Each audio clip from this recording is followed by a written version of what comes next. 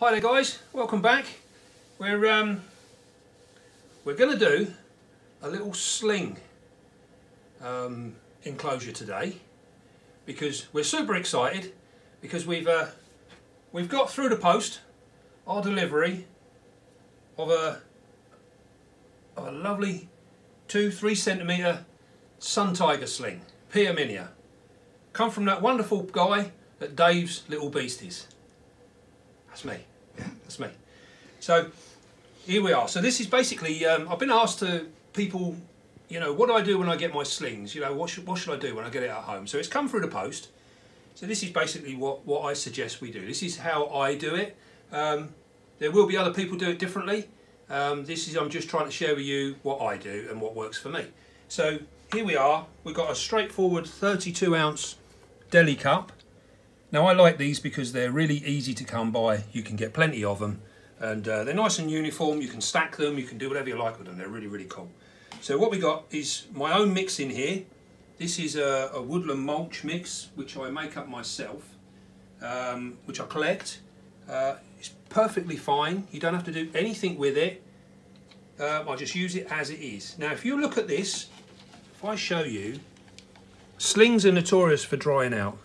This here is actually dry. It's just very, very moist. Now, we don't want it wet and as you see how it comes off my hand, this shows here that it is literally just very, very slightly moist. We don't want it where it's all cloggy and sticky. So as you can see, that is the perfect consistency for our, our new sling. So all we do is we put about so much in the in the deli cup. Now we put a little bit like that in there because slings do burrow. Although this is an arboreal spider, when they're slings, they do like to burrow. So one simple piece of uh, cork bark. So we got one there with some little holes and bits and pieces so he can either go under it or he can climb in here and hide away.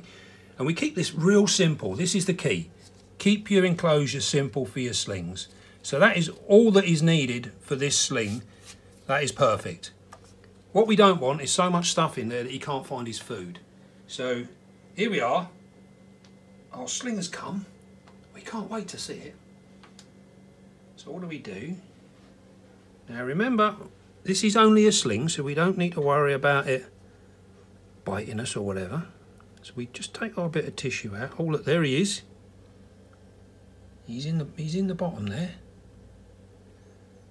So now then, so what we're going to do is we we pull our bit of tissue out because the supplier here done such a lovely job. He's done this to help us get our sling out, you see. Look at that. We can pull our bit of tissue out, lose our pot. Our sling, look at that. He's sat in the bottom of the tissue. He's not going anywhere, is he? Oh, look, he says, I've just come to my new home. And then all we do is we plop that down there like that. Give him a little tickle. There you go. You're in your new home. He's uh, there he is. And that is basically the sling's new enclosure. Now food wise, this is what I feed my guys on. This is a young red runner roach. Now this particular size roach is ideal for this sort of size sling. Now he can have uh, one or two of these a week and he will grow at a nice steady rate. Not too fast, he'll be just fine. So what we'll do, ideally, you don't want to feed him straight away. We have just put him into his new home. He needs to settle in. So here we go. We've got, got our lid. We put that, actually, before we do that, water. Now then, I don't give these guys a water bowl as such. So what I do is I use the cork bark to act as my water bowl. So as you can see on the cork bark here, we've uh, it's got loads of little nooks and crannies in it. So what I do is I literally, I just tip a bit of water in there. Now you can see the water just sits there. Now that creates its own little water dish.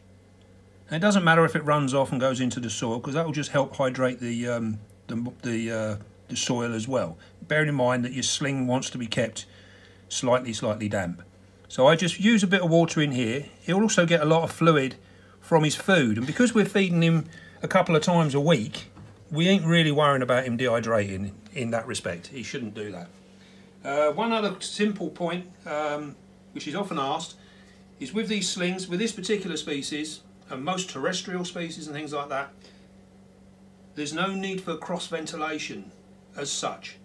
So we've got our simple lid. There's no holes in this. This is one sealed pot. Our lid is sealed. So we put a lid on there and that is that. So we've got no ventilation as such on this particular pot. Now that is helping with the um, humidity and it keeps it nice for him in there. If this was something like um, an avicularia or something like that, they do require a little bit more cross ventilation. But for this particular type of spider, it's not necessary. You're opening this up twice a week anyway to feed him. So you're getting a nice exchange of air and everything else. So uh, that is really, it's as simple as that. Don't overcomplicate it. Keep it simple. Your spider's in there, he's not got too much room. You'll find his food nice and easy because there's no rubbish in there for it to hide in. And this is your aim. You just want to grow him on nice and steady until he uh, becomes a, full-grown spider. And obviously as he grows, you'll up his accommodation. But you can keep the same principles, just in a slightly larger pot. Right, well I hope that helped out and answered a few questions. Uh, just remember, this is just how I do it. There's lots of people do it different ways. They're all perfectly fine. But this is this is what I do, and uh, it works for me. So hopefully it will work for you. And uh, hope you enjoyed. Don't forget, make sure you subscribe hit the bell icon, we uh, get your notifications, hit the like button. You know, this all helps the channel and um, helps us out and hopefully we'll produce a, a bit more, keep you guys entertained.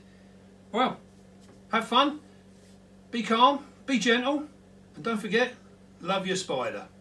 See you again soon.